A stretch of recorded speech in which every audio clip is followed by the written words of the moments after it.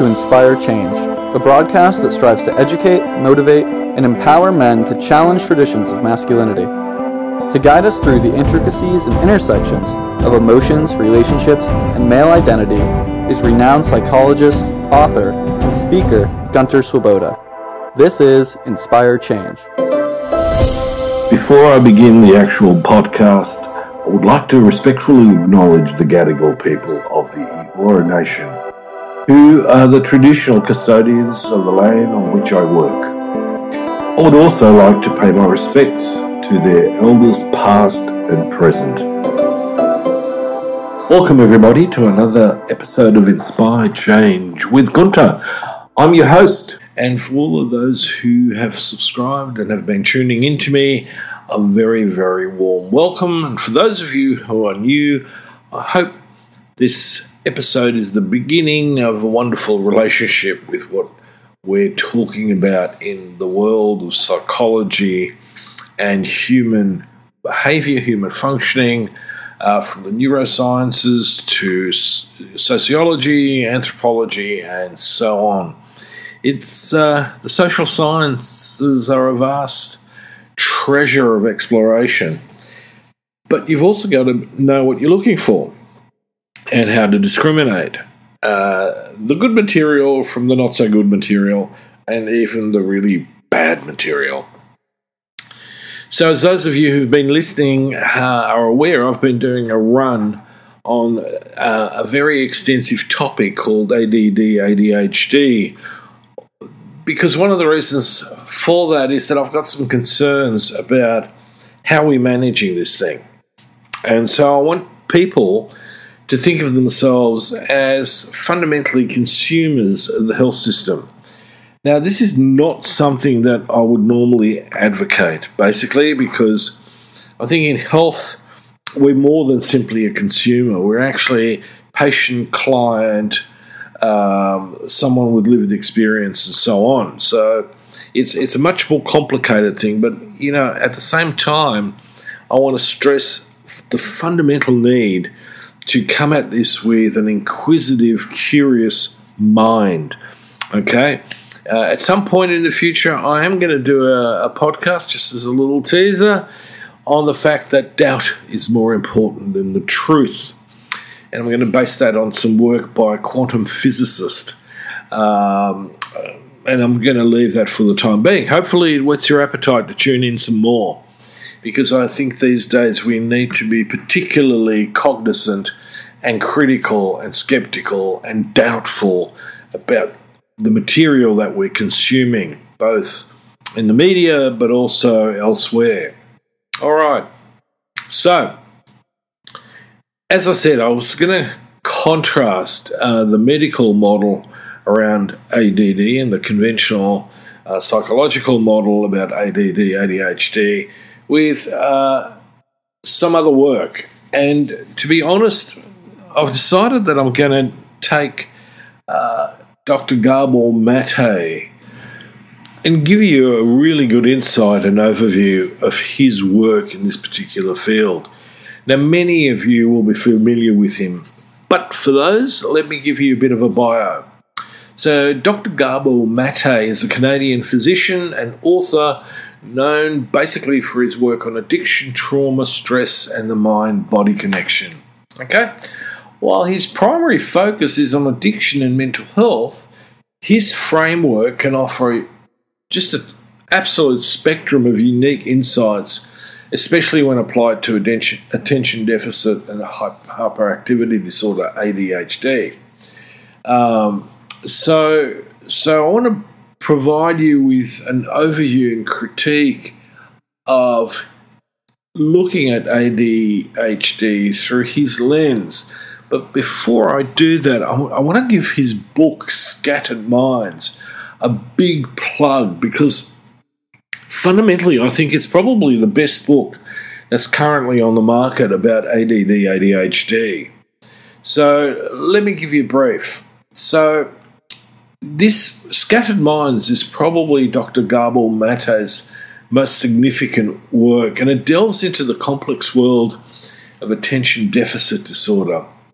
Um, Dr. Mate, who himself was diagnosed with ADD, combines his personal experiences with his professional knowledge as a physician to offer a comprehensive understanding of the disorder. Now, one of the things that I like is that here we have a physician who's gone away from inherently the medical model and has expanded his view of human beings and the various levels of distress and disorders that we experience.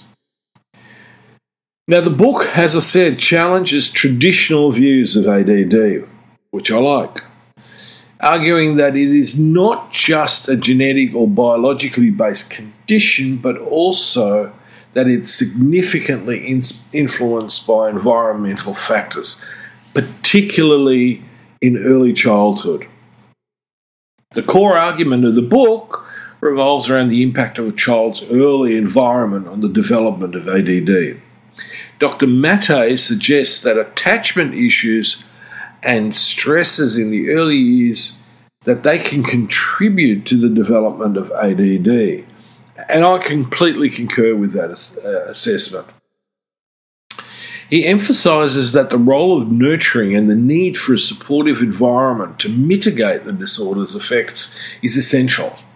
So, by doing so, the book shifts the focus from solely medication based treatment to a more holistic approach that includes addressing the emotional psychological needs of an individual with ADD. Now, for those of you who've been listening to my podcast, and especially the series on ADD, ADHD, you will have heard me hint at this, okay? Now, when I was training in addictions, the thing that we talked about fundamentally was the biopsychosocial model. And it's still a model that I think is very relevant. And Dr. Mate uh, is instrumental in bringing this to the world in a new iteration, in my view. So, you know, we've got to we've got to really pay attention to people who are outside of the traditional field in this context. Um, so his work too is fundamentally important in the fields of psychology and psychotherapy, especially in the context of masculinity studies, as he offers insights into how societal and familial expectations can shape the experiences of individuals, especially males, with ADD. The book encourages a deeper, deeper understanding and a more compassionate approach towards those living with attention deficit. It, it, advocates for societal and familial support systems that can foster healthier mental and emotional development. Now, at a time where mental health issues are fundamentally exploding at our, out of our wazoo with the uh, accompanying costs that we incur both as a society but also from a political economic basis, this is massive. And I, and I think if we don't listen to someone especially like Gabor Mate and many other people who are in the same, you know, uh, uh, looking at the problem from the same framework, there's something wrong with us. We got to pay attention.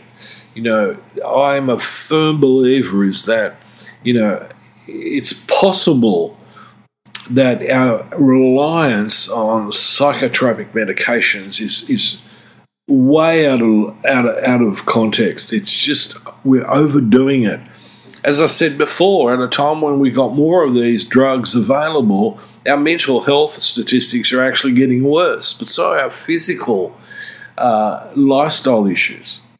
I've got a special announcement about how you can work with me. Since starting this podcast, I've had a lot of inquiries from listeners asking how they can work with me on a one to one basis. Now, I finally managed to free up some time to work with about five clients privately. Typically, we'll work together for six months applying the ideas I discuss here to help you lead a fulfilled, meaningful, and happy life and a well rounded life. If that's something you'd be interested in, drop me an email at gunter at goodmengreat.com and we'll be in touch. Okay, so let's take a bit of a closer look at the theoretical framework. So, Dr. Mate's theoretical framework emphasizes that there's an interplay between early life experiences, trauma, and coping mechanisms. And these key elements include early life experiences. He underscores the profound impact of early life experiences, especially adverse childhood experiences and how that impacts on an individual's emotional and psychological well being. Trauma, neglect, or dysfunctional family dynamics during childhood can contribute to various mental health challenges later in life. But now here's a point that I want to make. In many instances, it doesn't require the magnitude of those types of issues.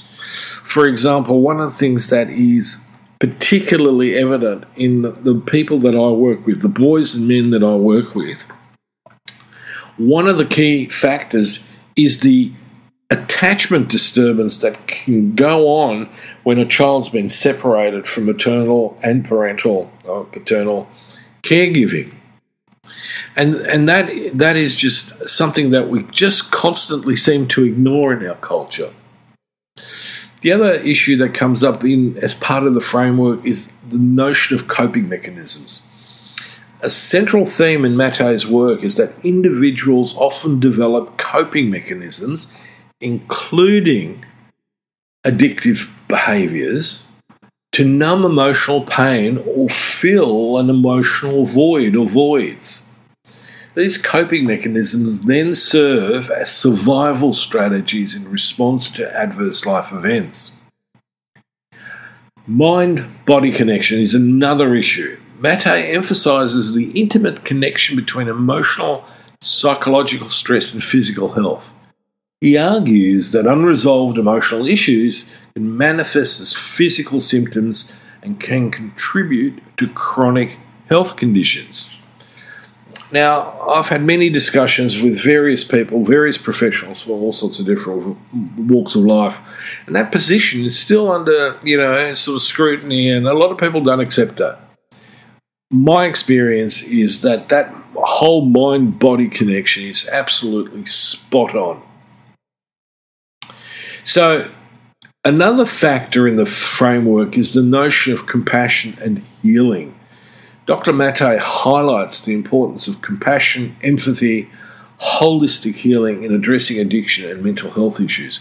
He believes that understanding and addressing these underlying emotional pains and trauma are essential for a proper recovery. Okay. so, what does this mean in the framework of ADHD? So, Firstly, Mate would want to explore how early life experiences could contribute to the ADHD symptoms. For instance, children exposed to trauma of family dysfunction might develop attention and impulse control difficulties as a, as a coping mechanism. You know, sometimes when parents are fighting, a child will start screaming or, you know, acting out, right? So that's a beginning process. The coping mechanisms, you know, often about shutting down the external and internal noise. The only problem is in ADD, ADHD, the internal noise doesn't shut up, it's just ongoing.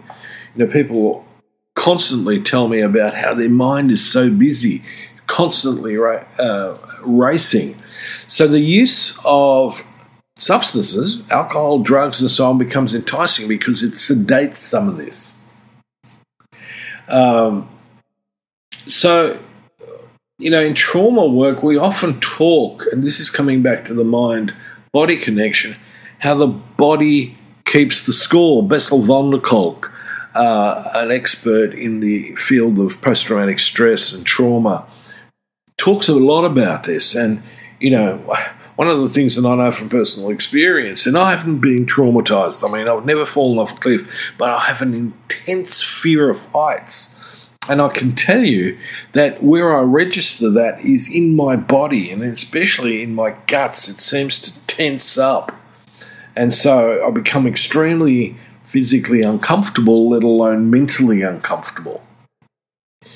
So, what does that all mean ultimately when we're talking then about treatment? Well, treatment can't simply rely on medication. We need to take a holistic approach to this. We need to basically do comprehensive assessment and treatments uh, and consider treatment approaches that fit in with that comprehensive assessment. And it's not only to address the symptoms, but also to consider the broader emotional and psychological aspects that the person is experiencing. You know, we become a little bit myopic. Now, when I look at the DSM, you know, 5, and I look at a lot of the sort of symptomology for ADD, ADHD, a lot of it is fundamentally someone else's subjective appraisal of what's happening for you. And I think that a lot of times we're not listening to the person experiencing it themselves. Uh, the challenge we got these days is that a lot of times people present to me and they've already spent hours trawling through Dr. Google and so on. So their experience, in some respects, has been contaminated by what they read, what they watch. Right? So it's hard to actually, you know, get a clean look at what their true experience, their authentic experience is about without these cognitive overlays. Now, the way to explain that is it's a bit, uh, it's a little bit, you know, from the school of, um, uh, you know, animal behaviorists who watch animals and record what they're doing. Now, the problem with that is that we often come at it from a perspective of a human being, not necessarily the animal. So we make and can jump to conclusions that actually don't fit the experience of the animal. Um, so, for example, you know, the whole thing about the alpha male amongst wolves, and then we extrapolate that to how that fits to human beings, especially males, male human beings. And, you know, there's nothing further from the truth than the alpha male syndrome, which is essentially someone who's fundamentally insecure and masks it with arrogance and narcissism as a defense mechanism for his inadequacies. So, yep, you know, we got to be careful here. So, so you know, not everyone is necessarily going to agree with me, and that's fine you know, to me, what's important in science and in the practice of the social sciences, as well as in psychotherapy and so on, is that we have an open, expansive curiosity approach to understanding what is out there in the world and what's internally within our own world inside. Let's not jump to conclusions. You know, you know, if I was a quantum physicist, I'd have to admit that I know there, there is much, much more unknown than there is known in that field. And I apply that to psychology and psychotherapy as well. Each and every one of my clients teaches me something, but often I find myself giving them frameworks that they can relate to that help them explore their experience further to both understand the the functional aspects of their symptomology, but also understand how they've become dysfunctional. I mean, you know, there's a functional aspect to addiction. It sedates the pain that you're experiencing, but it only works in the short term because in the long term it fucks your life.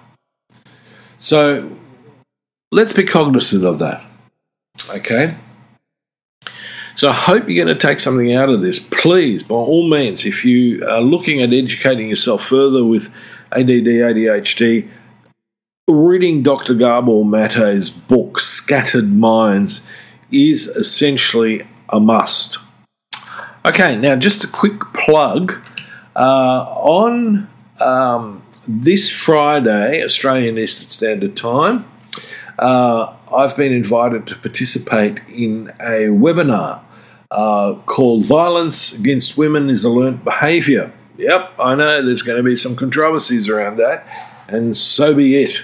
Let's enter the fray willingly and openly and have respectful discussions on that. And what we're going to be doing is we're going to be discussing the evolution of our brains, embedded stereotypes, and how we can contribute to a culture of respect and belonging. So it's not just me, it's Dr. Mark Williams. You've heard him before on my podcast. He's a good friend and colleague, and also an educator, um, Matt Smith, who is the founder, managing director, principal consultant for Summit Education. Um, so, this is going to be a great chat. Hopefully, you know, a bit fiery. It's always good to get into a few sort of controversial areas. I'm certainly too old to mince my words or be politically too correct. So please join us. Um, the invitation to join is on LinkedIn. Uh, Matthew Smith, if you look him up, uh, you will see um, the the information for the podcast or the webinar, I, should say. And uh, or alternatively, if you go to my Facebook page or um, just dial it up, violence against women is a learnt behaviour. So Dr. Mark Williams, Matthew Smith, and myself are going to be in discussion. I hope lots of people join in. Until next time, this is me signing off. And as always, I hope you have found that this podcast has inspired you to reflect and change and inspire others to do the same. Until next time, this is me signing off. Love to hear from you. And if you're interested, um, please check out my work on www.guntersvoboda.com or www.goodmengreat.com. Thank you for listening to Inspire Change, a broadcast that strives to educate, motivate, and empower men to challenge traditions of masculinity. For more information on the Making Good Men Great movement, or for individual or group coaching sessions with Gunter, visit goodmengreat.com. For inquiries regarding broadcast topics or appearing on the show, email Miranda at noirtainment.com. That's Miranda at N O I R T A I N M E N T dot com.